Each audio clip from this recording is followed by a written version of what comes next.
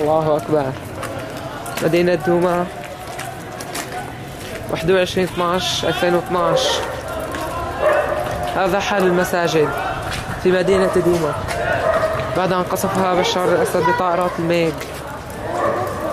انظروا إلى هذا الكلب أصبح الجامع ملكا له. الله أكبر.